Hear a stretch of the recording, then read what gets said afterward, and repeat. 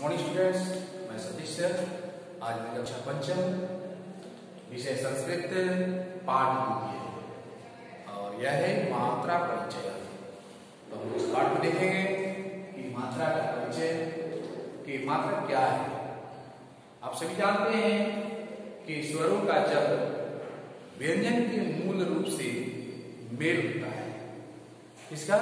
स्वरों किसके साथ? व्यंजनों के मूल रूप से मेल होता है, तब स्वर अपने मूल रूप में न लिखे जाकर, न लिखे लिखे जाकर एक अलग चिन्ह के रूप में लिखे जाते हैं और इसी चिन्ह को मात्रा कहते हैं। इस चिन्ह को मात्रा कहते हैं।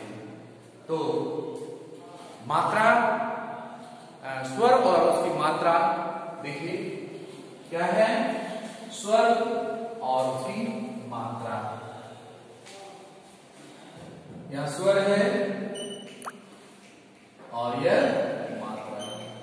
तो आप जानते हैं स्वर और की मात्रा नहीं होती है आ आ की मात्रा हर्षई यह हर्षई दीर्घई दीर्घई हो गया हर्षव हर्षव की मात्रा दीर्घव ये दीर्घव की मात्रा री री की मात्रा ए एकार की मात्रा है ए एकार की मात्रा है। ओ ओ की मात्रा है। औ की मात्रा है। और और अनुस्वार। है ना? इसकी मात्रा क्या है? अनुस्वार। आ आ मात्रा है। तो ये मात्रा है अ आ सही ईश्वर स्वर अ आ सही गई हसौ दो री ए ऐ ओ अ अम आ मात्रा अ की कोई मात्रा नहीं होती है अ की कोई मात्रा नहीं होती है आकार की मात्रा देखिए हर्षई का गे हर्षौ ऋगौ री ये सभी मात्राएँ हैं अम अ अम और अ स्वर नहीं है बल्कि इसका प्रयोग स्वरों के साथ ही होता है इसका प्रयोग क्योंकि मात्राओं के समान होता है, इसलिए मात्राओं के अध्ययन में इसको शामिल किया गया है। यह अयुग ठीक है? तो हम लोग यह देखिए स्वर और इसकी मात्रा है अब हम लोग देखते हैं वर्ण संयोजन वर्ण संयोजन क्या है वर्ण संयोजनम क्या है संयोजन मिलना। जब स्वर और व्यंजन। जब स्वर एवं व्यंजन आपस में मिलते हैं। स्वर और व्यंजन आपस में मिलते हैं तो उस मिलने की प्रक्रिया को वर्ण संयोजन कहा जाता है। आपके बुक में भी दिया हुआ है कि स्वर और व्यंजन के आपस में मिलने की प्रक्रिया को यह सब निर्माण की पहली सीढ़ी है। इसे सीख लेने के बाद मात्रा संबंधित मात्रा संबंधी गतियों की कोई संभावना नहीं होती है। तो ये हो गया।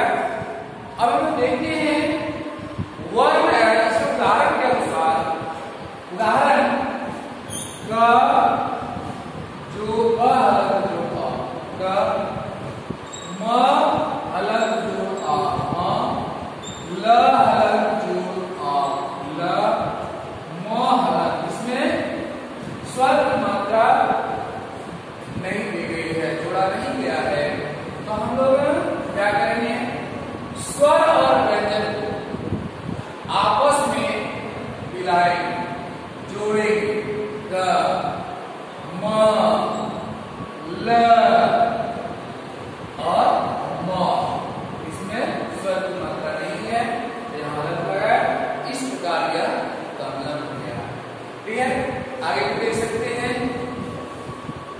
मातृ तो यहाँ क्या है मुआकार है तो म हलन जोड़ आ मा त्रि क हलन जोड़ त्री तो यहाँ हम क्या करेंगे मा त्रि मा त्रि तो हम स्वर और व्यंजन को आपस में मिला दें ठीक है मिल गया मिलने की प्रक्रिया क्या कहेंगे वो, अ, मिलने की प्रक्रिया को यहाँ जो है यह स्वर वर्ण से अब हम ठीक इसका देखेंगे वर्ण संयोजन अ, वर्ण विच्छेदन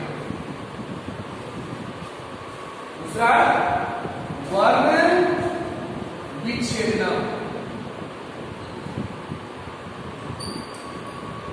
वर्ण विच्छेदन क्या है किसी भी शब्द में स्वर और व्यंजन वर्णों को अलग अलग करके लिखना किसी भी शब्द में किसी भी शब्द के वर्ण अ, स्वर और व्यंजन वर्णों को पृथक करने की विधि या अलग अलग करके लिखने की विधि को वर्ण विच्छेदन कहा जाता है कैसे तो हम देखते हैं दिया हुआ है नर नर न हलन जोड़ आ न हो गया ठीक है तो अलग अलग कर रहे हैं न हलन जोड़ आ न र हलन जोड़ आ यहाँ अलग अलग कर रहे हैं तो शब्द में स्वर और व्यंजन वर्णों को अलग अलग करके लिखा जाता है इसे अलग अलग लिखने की प्रक्रिया को वर्ण विच्छेदन कहा जाता है इस प्रक्रिया में स्वर अपना मात्रा स्वरूप त्याग देता है त्याग कर वह अक्षर रूप में आ जाता है और व्यंजन फल से युक्त हो जाता है तो यह और इसमें दूसरा उदाहरण दे सकते हैं कोकिला कोकिला तो को को को हलन जड़ को की का हलन जो रसोई और ल हलन जो आ तो अब देखिए कि का हलन जो को को का हलन जो रसोई की का हलन जो आ कोकिला तो इस शब्द में स्वर और व्यंजन को अलग अलग करके लिखा गया, जिसे कि वर्ण संयोजन कहा जाता है। अब हम देखते हैं कि संस्कृत भाषा शब्दों को उसके अंतिम वर्णों के नाम से जाना जाता है। ठीक है? इसमें संस्कृत भाषा में शब्दों, उसके अंतिम वर्णों के नाम से जाना जाता है। वर्ण विच्छेदन के बाद अंतिम वर्ण स्वरांत हो उसी स्वर का अनंत्य, क्या? अनंत्य कहा जाता है। और व्यंजन वर्ण से अंत हो तो उसे हलन हलनांत कहा जाता है। ठीक है? जैसे अंत में आता तो उसे अकारा स्त्रीलिंग हो, अकारा स्त्रीलिंग। पुल्लिंग हो और से अंत होता है, उसे अकारा स्त्रीलिंग। अंतिम आ आता है, उसे आकारा कोकिला में अंत में आ है तो इसे आकार कहेंगे ठीक है नर है नर में नर में न हलन जोड़ अ और र हलन जोड़ अ इसमें आप देखते हैं अ से हुआ है तो उसको बोलेंगे आकार अंत में जो भी आएगा उसे ऐसा बोलेंगे अगर अ से होता है तो अकार आ से होता है आकार हरस्वई रहेगा तो हरस्वई कारा दीर्घ ही रहेगा तो दीर्घ ही कारा ठीक है जैसे इसमें दिया हुआ है कवि कवि शब्द हलन जोड़ आ व आप देख रहे हैं अंत हो रहा है से तो यह हरस्वई इकार। क्या लिखेंगे इसे इकार। अगर स्त्रीलिंग है तो स्त्रीलिंग है तो लेकिन यह कभी दिया गया है कि यह पुलिंग है तो इकारांत इकारांत लिंग नदी स्त्रीलिंग है तो आप नदी में न हलंग जोड़ आ, और न हलंग जोड़ गिर गई यहाँ क्या हो गया गिर गई से है गिर गई इकारांत स्त्रीलिंग है तो आप स्त्रीलिंग लिख सकते हैं तो यह हो गया अब तो पाठ द्वितीय मात्रा परिचय देखेंगे और इसी तरह एक्सरसाइज पूरा करना है में वर्ण संयोजनम वर्ण विच्छेदनम और चित्रों को देखकर उनका नाम लिखना है।